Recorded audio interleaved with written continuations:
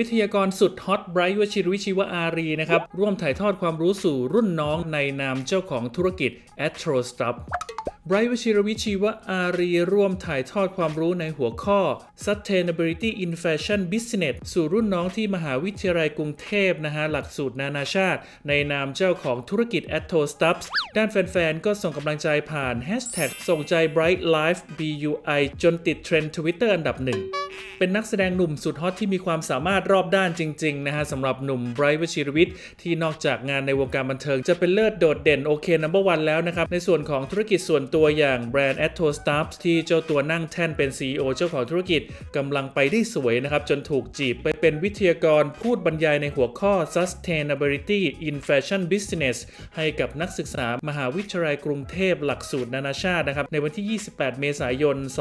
2564 ที่ผ่านมาร่วมกับอาจารย์แหวนแหวนปวลิสานะฮะและผู้บริหารคนเก่งจากยูนิโคล่ที่มารวมตัวกันในออนไลน์ Master Class Session นะฮะงานนี้แฟนๆและสาวกคนที่รักไบร์ทนะครับพร้อมใจกันติด Hashtag ส่งใจ Bright Live BUI ส่งใจให้ CEO สุดหล่อจนติดเทรนด์ Twitter ไปทั่วโลกแล้วทีมข่าว P News นะครับ ก็มีคลิปบางช่วงบางตอน ขณะที่ไบร์ทพูดถึงแบรนด์ Astro Stuff นะครับ เราไปชมกันเลยฮะ people to concern about sustainability I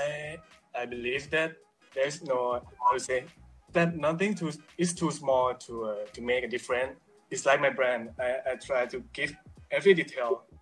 in in every process to make it more eco-friendly. I mean, just a little thing,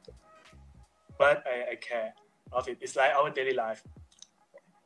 Every little things that we do in in, in our in, in our day, it can help the environment. For example, just just uh, use my tote bag instead of plastic bags. There are little things, but it can help the environment. Or just deny to use the plastic plastic straw.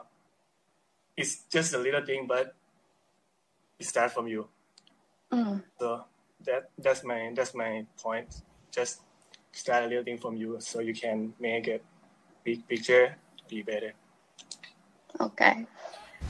ก็ฝากเพื่อนๆ สนับสนุนน้องกันต่อไปนะครับ คนเก่งมีความสามารถรอบด้านแบบนี้ อนาคตสดใสดังไกลทั่วโลก Number One ปังปุริเย่แน่นอนนะครับ ขอขอบคุณข้อมูลดีๆ จาก True ID และขอขอบคุณทุกท่านที่ติดตาม ฝากกดไลค์กดแชร์เพื่อเป็นกำลังใจให้กันด้วยนะครับ แล้วเจอกันใหม่ในคลิปหน้าสำหรับวันนี้สวัสดีครับ ติดตามห้องข่าวพีนิวได้ทาง Facebook Twitter และ IG หรือสแกน QR Code ที่ขึ้นอยู่หน้าจอได้เลยนะครับ สำหรับคุณผู้ชมที่รับชมห้องข่าวพีนิวทางมือถืออย่าลืมกด Subscribe ตรงนี้ด้วยนะคะ